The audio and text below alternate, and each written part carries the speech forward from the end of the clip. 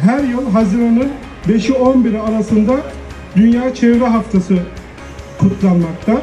Biz de bu kapsamda çeşitli etkinlikler tertip etmekteyiz. Bu etkinliklerimize belediyemizin hemen hemen bütün müdürlüklerinin katkıları olmakta.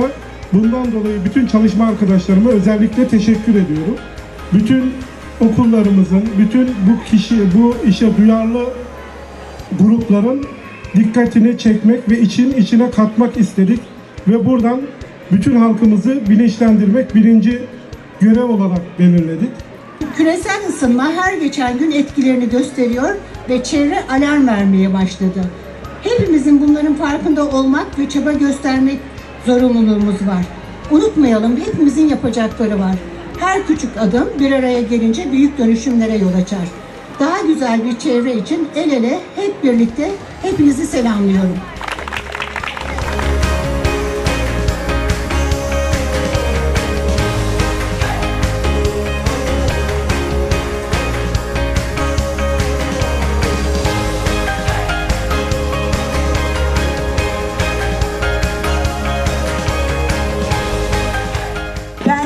Ben gübre aldım. Onları koy vereceğim fidelerin diplerine.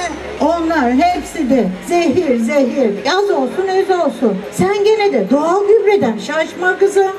Aman kız Emine bak. Doğal olsa çarşıda satarlar mı hiç?